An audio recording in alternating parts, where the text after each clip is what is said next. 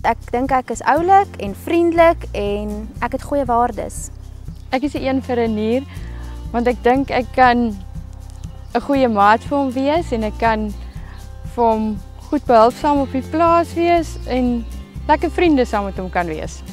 Ek hou daarvan om net mense gemaklik laat voel en ek dink hy is ook iemand wat hou daarvan om mense te onthaal en stories te vertel en ek is 'n goeie luisteraar.